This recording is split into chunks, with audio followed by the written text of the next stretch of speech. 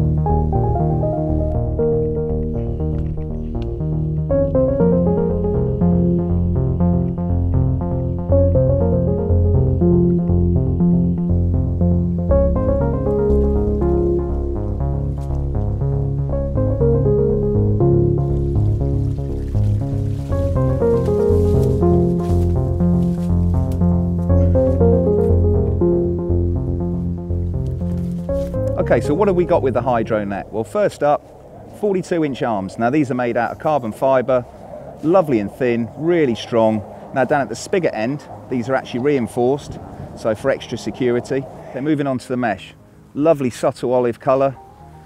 An important point, it's got reinforcement all the way around the net, so down both of the arms and across the spreader cord.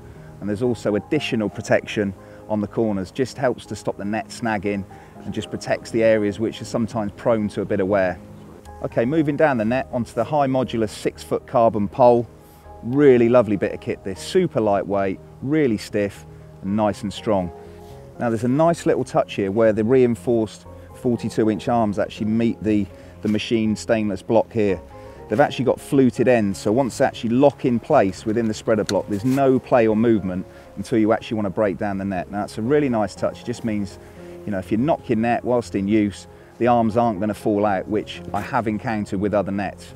So moving down the pole, finished off with a nice Trakker icon up this end, and then we can move down. Now, at the business end, obviously where you're going to be grabbing hold of it, Japanese shrink wrap, probably about a foot and a half there. And then the bottom of the net is finished off with a rubber bung, nice and secure. So obviously you're not going to damage your landing net pole if you're dragging it across gravel and it also means that the pole, when it's in water with a net float, this will float completely. So it's great if you're wading out to net fish in weedy waters. So that's the Hydro landing net. It comes supplied in its own draw cord carry bag and it's available from all Trakker stockists.